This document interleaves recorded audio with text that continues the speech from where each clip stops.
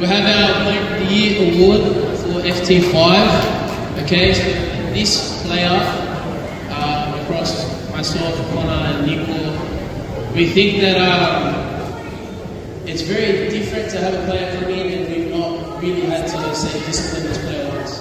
Every single day from when, when they've started, has been switched on, concentrating, always ready to learn, loves football, loves to train, loves to play. And I think on top of just talent and everything else, that's a good uh, indication that they'll have a future with Futboltec. Because we've never had to tell this player that they work hard. We've never had questions asked, just did his job, did they play their role perfectly, and uh, I think that kind of suits us, and I think our environment will suit this player. So, player of the year goes to Stefan. Yeah.